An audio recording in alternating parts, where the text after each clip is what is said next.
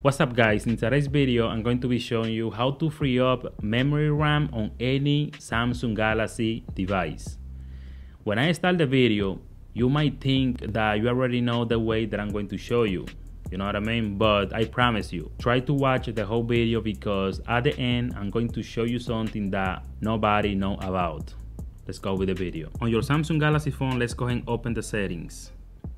Then scroll down until you see about phone then let's go ahead and click on software information.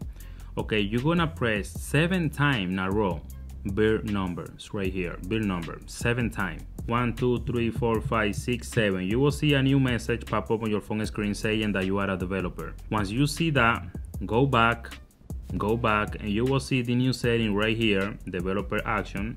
Let's go ahead and click on that then let's go ahead and click on running services. Okay you might know how to you know get to this page and free up memory ram. You're gonna be able to see all the apps that are running on your phone right now and you can just force tap those apps. But guys there's a whole different way how to do this better.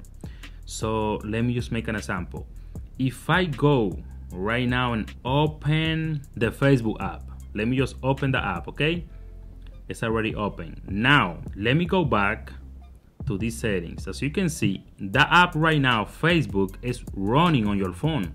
It's using your phone memory RAM, but you don't see this app right here running. You see?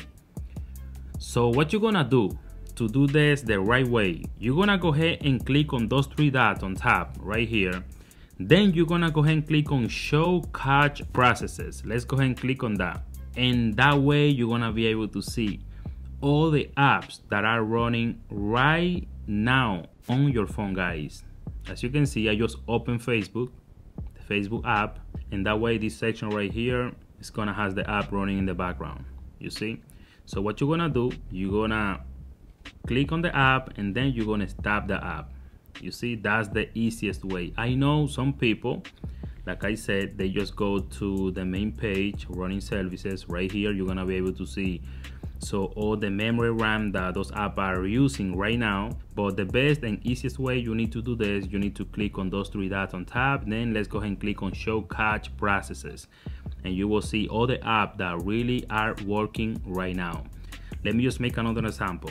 Let me just open the browser really fast. It's open. Then let me go to right here to this setting let me go back. Let me go to running services. Three dot show cache processes and right away you will see the browser you see?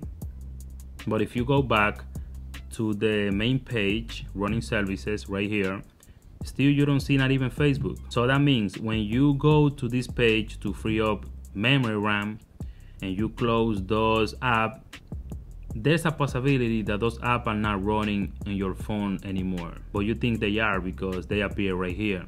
But if you really want to see apps guys running on your phone just go right there and you will see them right there. And all you need to do just click on the app and then click on stop. And that's all you need to do guys. That was the new hack that I want to show you.